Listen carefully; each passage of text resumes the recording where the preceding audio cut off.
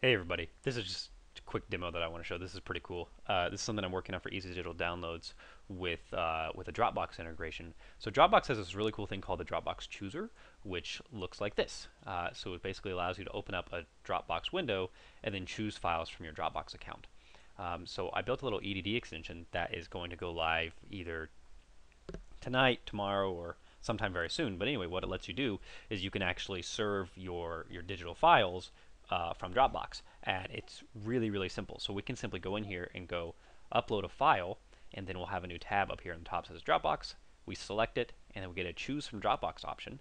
And so we can go choose a file. Let's just take, um, we'll take this one right here. We'll click select, and then we can see that it shows up right there. Uh, and then if we click update, now we'll go view the download. And let's actually go to our purchase history so that we can go download the file. And download. And there it is. Pulls it directly from Dropbox. So you can store your files securely on Dropbox. You can use Dropbox to serve the bandwidth. Uh, and it's overall, it's just really, really cool. And this is something that took about 30, 45 minutes to implement. So it's really quite simple.